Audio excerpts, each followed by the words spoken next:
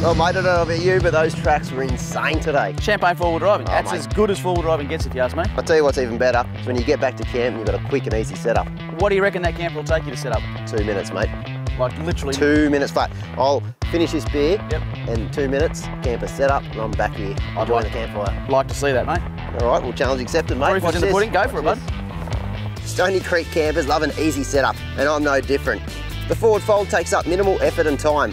All you need to do is unclip the locking hatches, extend the drop-down legs, and then fold him out. The roof of the camper is a king bed, and it uses a geared winch and dual gas struts to fold out, which makes it simple and extremely fast.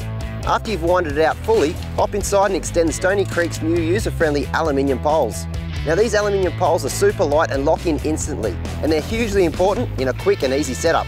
Once you've set them up, you're all done. There you go, I can't believe it, two minutes flat.